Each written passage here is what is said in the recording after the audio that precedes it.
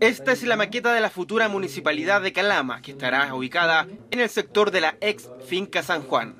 El proyecto que ya está en la etapa final de diseño, solo falta la firma de la presidenta para afinar detalles y comenzar las obras. Eh, este es un proyecto emblemático que esperamos que una vez que se concrete este convenio de financiamiento firmado entre la presidencia, la presidenta de la República y el alcalde, eh, nos va a permitir a nosotros poder empezar a, a licitar la obra física a partir del próximo año.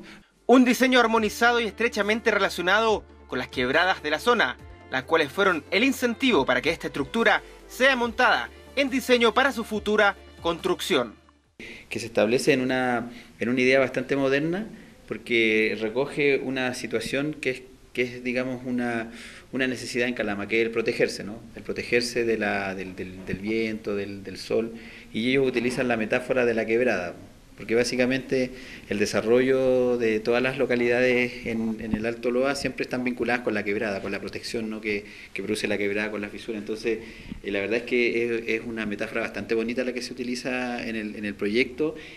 Con una inversión total de 18 mil millones de pesos, esta obra albergaría a todas las áreas del municipio en un solo lugar. El diseño salió, salió a nosotros 170 millones de pesos. Ahora, el diseño arrojó de que el presupuesto de la obra física es de 18 mil millones de pesos. Ese es, digamos, el, lo que cuesta construir el edificio. Construir el edificio. Un diseño que está definiendo detalles y resolviendo todas las observaciones para que pueda concretarse y así convertirse en el proyecto prioritario de la ciudad, con el financiamiento especialmente comprometido por la Subsecretaría de Desarrollo Regional.